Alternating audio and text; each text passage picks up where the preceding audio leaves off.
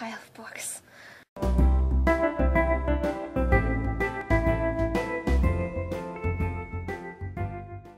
Hi guys. So, I'm filming outside, which is really exciting. I have a huge book haul to do. I'm actually going to put this into two parts. I went to a local thrift store. They were having the sale where you take a bag and you put as many books as you want into it, fill it up all the way, and the bag is $3. $3. So, I'm going to show you that, and then I'm going to show you the rest of the stuff I got while I was shopping in a different part. So, this is the most of it. So the first three books that I got are English nerdy books, because that's who I am.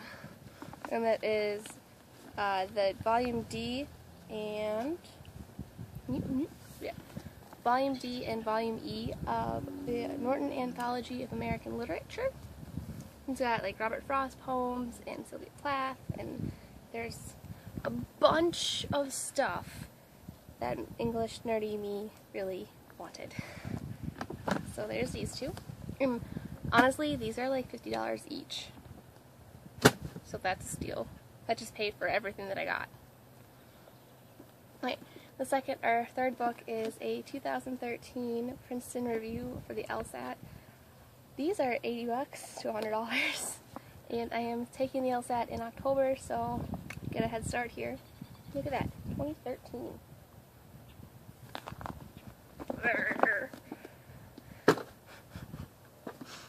Alright. Next, I got The Lost World by Michael Crichton. This is the sequel to Jurassic Park, which I love a lot, so there's that. Then I got The Bourne Supremacy by Robert Ludlum. I love this movie. Love Matt, Matt Damon. Just gonna take a moment for Matt Damon. And um, I didn't even know it was a book, so I'm gonna read that, and then I'm probably gonna give it to my mom. She loves it. The next three book uh, books that I got are the first three in the Clique series. Um, the Clique, uh, Friends for Never, and Revenge of the Wannabes. I have read the Clique, I think in high school or junior high whenever it came out. Oh, oh look at, I found three of them. Why not get them? Why not? And then I got a Poems by Shakespeare book. It's just all of his poems, every single one of them. You will see in the second part of my haul, I'm in love with Shakespeare. Just love him. So yeah, The Story of a Girl by Sara Zarr. Honestly, I think I've read this before, but I don't remember. And it looks like an easy read, and I thought, why not? Yeah. Carnal Innocence by Nora Roberts. I'm a sucker for a romance novel. Um, Nora Roberts is supposed to have, like, she's I've never read her before, but I know she's really proficient in romance novels.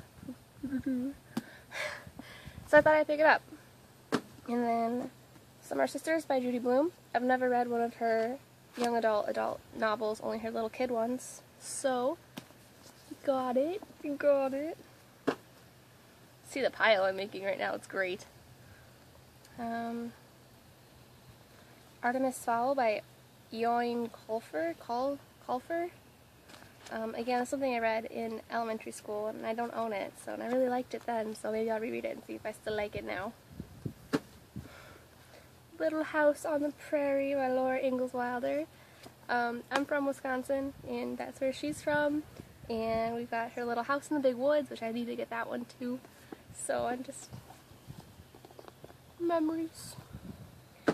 Last, but not least, Angels and Demons by John John Brown. Dan Brown, that's his name.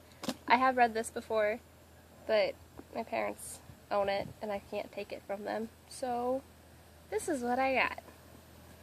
And I need to find the Da Vinci Code too. Maybe I will pick up the Inferno someday. That's all I got from this used book sale. Uh, so I will see you guys in part two, two of my book haul. Part two of my book haul, my big, big, big book haul.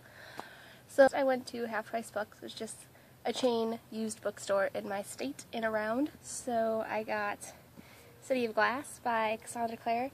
I own City of Bones already. I haven't read it. I don't own City of Ashes, but I think I can find it. But this was only $5.49. So I picked it up. Then I got Beautiful Creatures by Kami Garcia and Margaret Stohl. I really want to see the movie, but I have to read the book first. I just have to.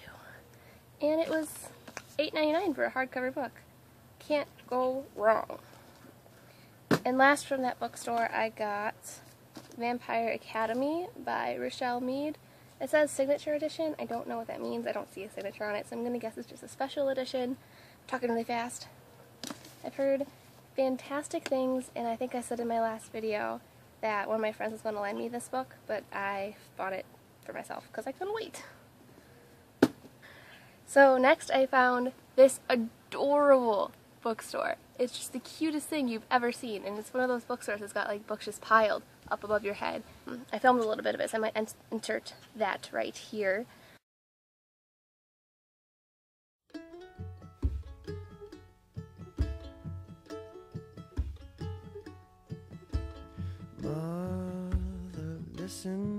Um, so yeah, I'll show you. I got five books there for five dollars, a dollar freaking each. So first I got Hamlet by Shakespeare. I also got The Merchant of Venice by Shakespeare. And, ooh, what's that? I also got Macbeth by Shakespeare. As you can see, I'm having a Shakespeare kind of a day, but I mean, three Shakespeare plays for $3 is not bad. And I've already read Macbeth and Hamlet. I got Great Expectations by Charles Dickens. I read this my freshman year of high school and I loved it and I just I want to read it again. Last but not least from this bookstore I got Frankenstein by Mary Shelley. And then I was on my way out of shopping and I was like, ooh, Barnes and Nobles, I should go in. I got myself a green tea.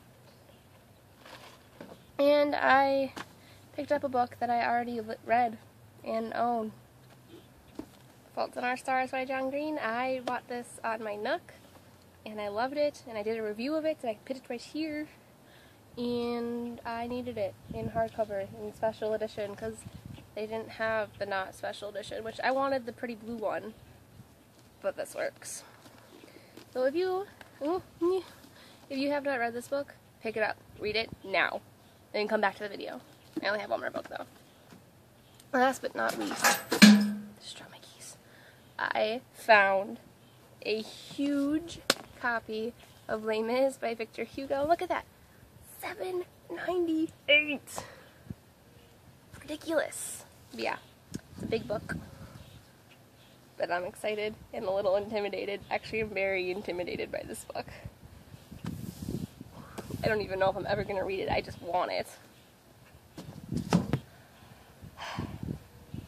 Look at my backyard. Isn't it funny?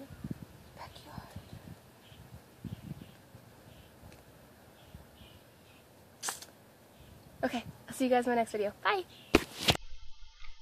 Very quick little update here. I am officially on a book buying ban.